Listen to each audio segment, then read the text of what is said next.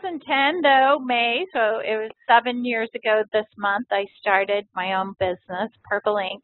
Um, a lot of people ask me where I came up with the name or, or you know, what's my fas fascination with purple, which is not really, it, really it wasn't anything about the color.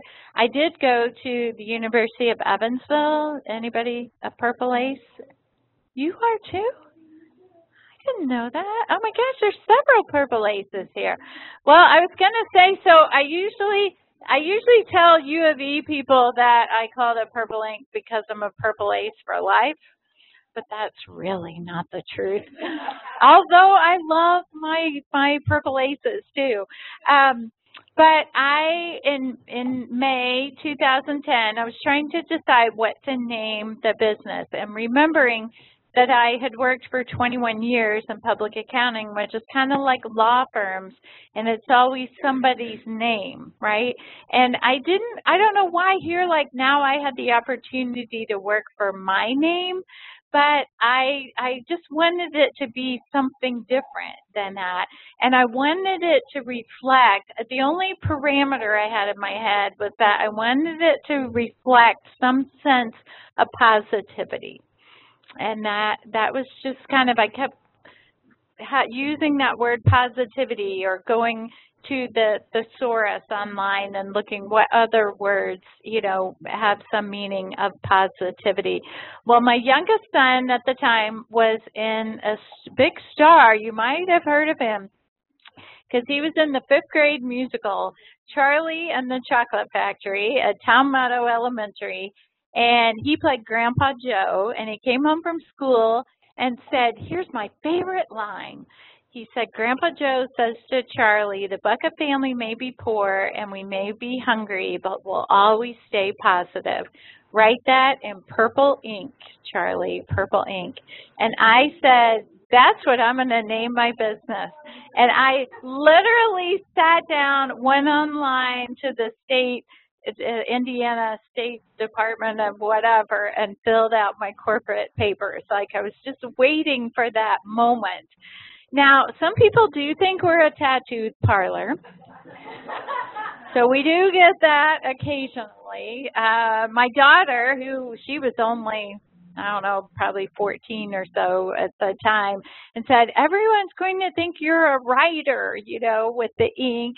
Um, but it's been interesting. I have no real marketing skills or background, but uh, it's been an interesting name. It does generate a lot of conversation, and uh, people seem to remember it. So I guess it worked. But um, so I, when I started, I, I, I had always thought, even back in college, that maybe I would use that HR accounting skills in, in having my own business. But never, ever did I imagine that I would start a consulting firm um, or that I, you know, I thought I would have a retail store or something like that. So I, it didn't really surprise me that that's where I ended up.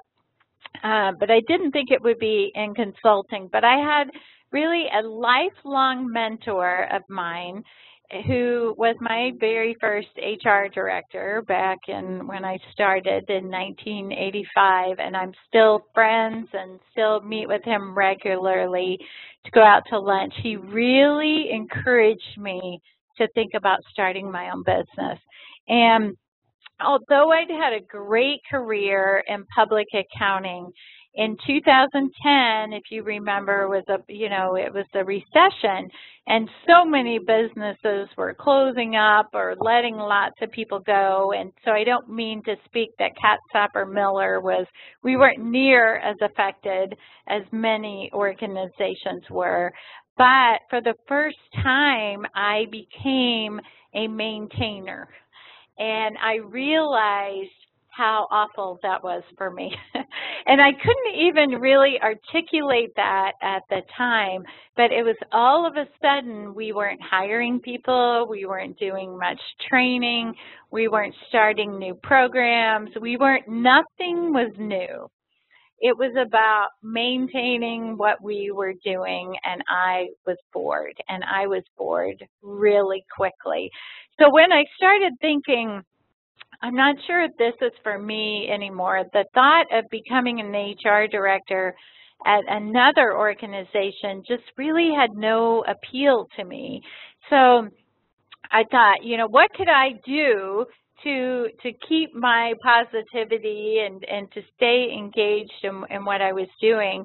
And so where many businesses were closing, my positivity said, oh, it would be a great time to start your own business. and I wish I could tell you if you remember, strategic was one of my top five strengths too. I wish I could tell you I was using my strategic and doing it. Um, by saying that really what ended up happening was a lot of companies were were letting go some of their HR people or downsizing their HR departments.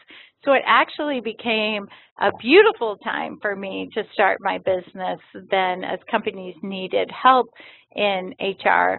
Um, but that was really just kind of happened. I, I didn't have that strategic thought to think that that's what I thought was going to happen. So I won't take any credit for that um, for that theory. But at Purple Ink, we do um, all kinds of HR consulting, uh, HR outsourcing. So that might be if a company's uh, maybe is in between HR people and we would go in and fill that spot until they got someone hired. It could be someone's on maternity leave and we would go in.